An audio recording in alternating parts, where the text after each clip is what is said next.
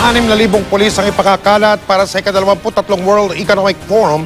Gaganapin po ang pagpupulong na yan dito sa ating bansa simula sa makalawa sa Miyerkules. Ayon kay PNP Director General Alan Purisima, inatasan niya na si Police Deputy Director General Leonardo Espina na pamunuan ang PNP Task Force WEF sa Makati Central Business District kung saan gaganapin ang pagpupulong, kapansin-pansin na ang pinagigting na tinatawag na police visibility. Maging ang mga miyembro ng Special Action Force nakahanda na rin.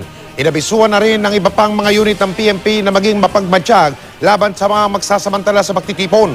Ang dadalo sa World Economic Forum ay mga leader mula sa iba't ibang bansa